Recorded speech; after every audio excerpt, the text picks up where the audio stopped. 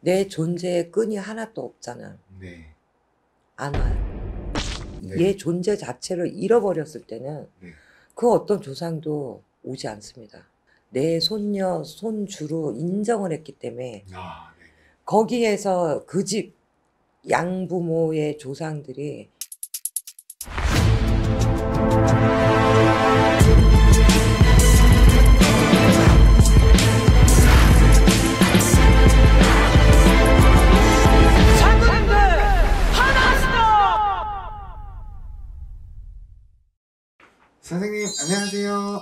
안녕하세요. 네 반갑습니다 선생님. 네, 어, 오늘은 입양된 분들이 음. 있잖아요. 많죠. 네. 혹시 이런 분들은 조금 친부모 혹은 양부모 중 어떤 쪽에 조상을 의뢰하는지 좀 궁금해서 여쭤보려고 왔습니다. 음, 이건 진짜 궁금하겠다 일반인들한테는. 음, 네.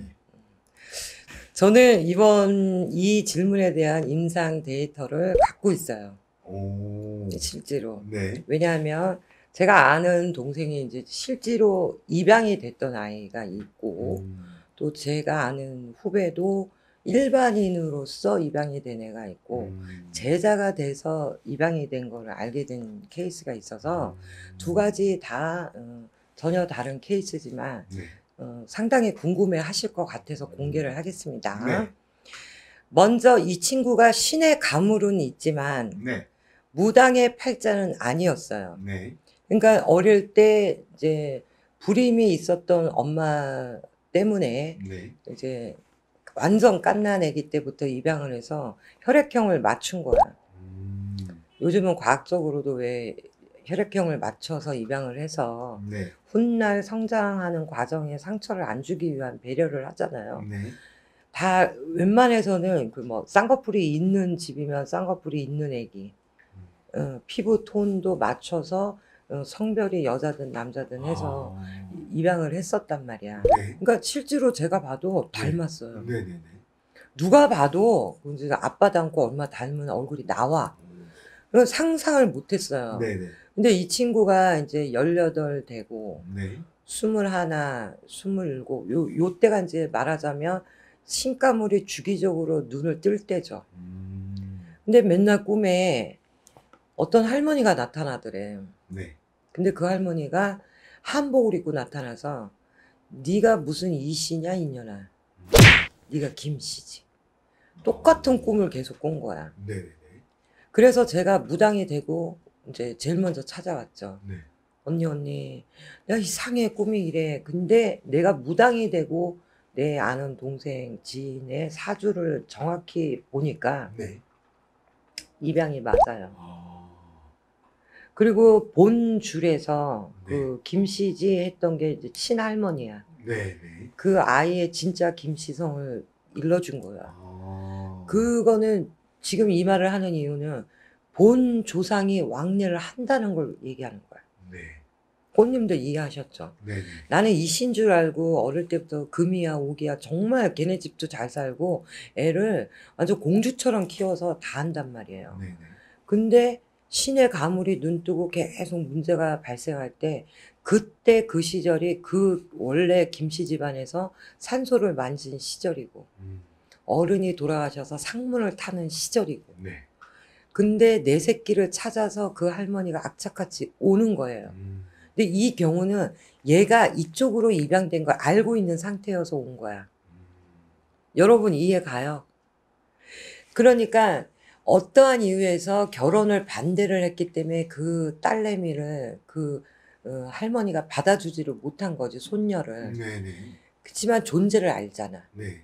그렇기 때문에 돌아가시고 나서 임종하고 나서는 걔를 찾는 거야. 아. 그리고 어디로 입양 갔다는 것 정도는 대충 알고 있었기 때문에 네. 수월하게 꿈에서라도 바람결, 구름결에 음. 꿈결에 왕래를 해. 음. 그래서 내 친가 조상의 뿌리를 알게 되고 찾게 돼. 음. 이, 이런 케이스가 1번. 네. 또 두 번째는 얘가 애를 낳았다는 것조차도 본가에서 모르는 경우야. 어, 네네. 그러니까 예를 들어 어, 그 집 남자가 네. 유부남이 몰래 바깥에서 어, 혼외의 자손을 봤어. 네. 근데 호적에도 안 올려주고 네. 어, 내가 원치 않는 애를 네가 낳았으니까 네. 네가 알아서 키워 하고 아예 절단을 하고 음. 절 절교를 하고 네. 어 잊고 살았어. 이사를 가버리고 소식을 완전히 끊었을 때 네. 어, 이 미혼모가 된 이 아이의 치- 생모는 음. 그 상태에서 키우는 거죠. 음. 그러면 또 100% 옵니다. 그 이유는 생모가 아버지라는 존재가 누군지를 알고 있기 때문에 네. 조상의 연이 닿아요. 음. 연결 고리가 있기 때문에. 음. 여러분 이해 가시죠? 네. 어, 생모가 있었기 때문에. 네. 그 다음에 세 번째 케이스는 네. 혼외의 자식으로 낳아서 네. 이 얘가 있는지 몰라. 남자 쪽 집안에서는 이 네. 아이가 태어난 거를. 그리고 나는 새로 시집을 가야 되고 내가 호적에 올릴 미혼모로 살 자신이 없기 때문에 낳자마자 보냈어. 음. 근데 음, 사귀었던 사이라면은 가능성이 있지만 네. 음, 안 좋게 강간이나 아. 어, 다 기타 다른 이유에서 정확한 이 아빠가 누군지 엄마도 모르는 거야. 음. 그리고 임신은 됐고 네. 그래도 살생은 못하니까 아이를 출산하고 이 아이를 키울 자신이 없는 미성년자 뭐 이런 네. 여러 가지 자기의 사연 때문에 네. 이 아이를 홀트나 다른 고아원이나 이런 곳에 이제 아이를 보냈을 때는 이 아이는 내 존재의 끈이 하나도 없잖아. 네. 안 와요. 아. 이해가 가. 그 아버지 쪽, 엄마 쪽에서도 네. 이 아이가 어디에 있고, 이 아이가 몇 년생, 몇 월, 며칠, 뭐, 뭐, 아무 그것도 없이 그냥 놓고 바로 버리고, 그냥, 어, 일상의 생활로 돌아가서 네. 얘 존재 자체를 잃어버렸을 때는 네. 그 어떤 조상도 오지 않습니다. 오, 그러면 그분들은 좀 조상의 덕을 받기 힘든. 오히려 자기를 입양한, 네. 이제 깐난이부터 키웠다 그랬잖아요. 네. 거기에서는 이미 마음으로 가슴으로 내 손녀 손주로 인정을 했기 때문에 아, 네. 거기에서 그 집 양부모의 조상들이 이 아이랑 또 어떤 전생의 인연이 있기 때문에 부모 자식 간에 천륜이 맺어지잖아. 음. 우리 그냥 맺어지진 않거든. 네. 그렇게 맺어지면 이- 이미 내 새끼야. 음. 그렇게 받아주는 케이스. 네, 네. 요거는 이제 무당이 아닌 경우고 네. 무당인 경우가 또 있어요. 음. 어. 무당인 경우는 얘가 입양된 거를 무당이 되고 알아. 음. 그리고 대신 할머니가 대신 할머니 밥상을 딱 들고 자기 머리밭에 와서 앉더니 네. 쌀로다가 이렇게 실화야. 네. 쌀로다가 이렇게 툭툭 치면서 네가 어떻게 이시냐. 니녀는 고시다. 어, 제자가 되면 핏줄을 못 속입니다.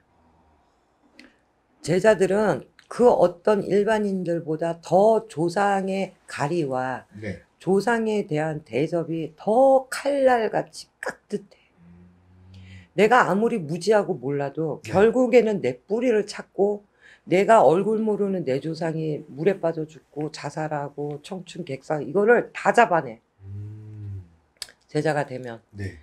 그런 경우가 있고 또 두 번째는 아까 얘기한 것처럼 엄마도 아빠도 연결고리가 없이 낳자마자 그냥 어, 강간인지 뭔지 그냥 바- 오밤중에 험한 꼴 당해서 임신돼서 그냥 애, 피덩이 때부터 던져버렸으면 양부모의 조상을 캐 음. 양부모의 조상을 캐게 되고 거기에서 신명이 들어와 내가 뭐 박 씨여도 이 씨한테 입양이 됐으면 이 씨 조상에서 그 대수에서 네가 총대 메고 무당이 됐으니 내가 이렇게 어, 내려 내려오겠다.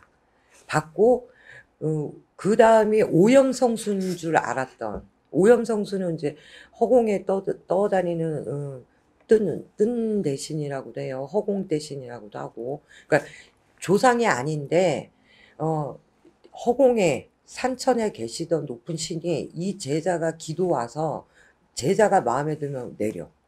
그게 뜬 대신이라고 하거든요. 내 조상의 핏줄이 아니어도 그런 분들로 해서 또 들어와. 그래서 신은 존재하고 조상은 있고 귀신은 있다. 음. 그러니까 지금 이 얘기를 하는 거는 아마 이제 꽃님들 중에는 제자도 있고 네. 일반 꽃님들도 계시잖아요. 네. 그럼 입양된 케이스가 있고 나는 주워다 키웠어. 뭐. 연연해 하지 마. 음, 그게 내 운명인 걸 어떻게? 어? 팔자대로 온 거고. 근데 금이야 오기야 나를 키워준 양부모가 뱃속으로 나온 친부모보다 더 위대한 거야. 그 감사함을 가슴에 담고 네. 섬기면 결국 그 집 조상에서 네가 이렇게 네 머리카락을 뽑아서 집신을 만들어서 네 엄마의 공덕을 네가 은혜를 아는구나. 이것만으로 얘는 자기 인생의 큰 복을 받아. 그러니까 넓게 생각하고 깊게 생각하라는 거지. 그냥 나는 이거 오빠가 뭐라고 한마디 했어. 친동생이 아니니까. 어, 우리 엄마가 나한테 좀 이랬어. 욕했어. 그래, 내가 주워온 새끼니까. 그거는 자격지심이야. 음, 아니, 자기 자식한테 욕하지 지나가는 사람한테 욕하겠어? 그쵸. 꽃님들. 네. 그리고 내 새끼니까 뺨도 때릴 수 있는 거고 막말로 머리채도 잡고 어 2년 전에 욕도 하지. 지나가는 남의 집 딸한테 그렇게 해봐. 폭행죄로 바로 미친년 소리 듣지. 네, 맞아요. 그렇죠? 네. 그러니까 이 종이 한 자 한 끗 차이인 것 같아. 남의 일이라고 쉽게 얘기하는 게 아니라 벌어졌고 이미 모든 것에 세월이 10년 20년 흘러서 나는 이 씨 집안의 족보에 올라와 있어. 그러면 이 씨 자손으로 살아가세요 그게 어, 복을 또 받는 방법이고 네. 하늘에 준 천륜의 새로운 인연법이 아니겠느냐. 저는 그렇게 생각합니다. 알겠습니다. 오, 이렇게 마음으로도 끊어진 천륜을 다시 이을 수 있다는 말이 좀 굉장히 와닿는 말이네요. 어우 충분히 네. 가능해요. 네. 어, 혹시나 뭐 요거를 걱정하시던 분이 있, 있으셨다면 걱정 안 하셔도 될 것 같고요. 오늘의 컨텐츠 여기까지 하겠습니다. 여러분 용기 잃지 마시고 더 멋있는 삶 자기애로 빠샤입니다. 감사합니다.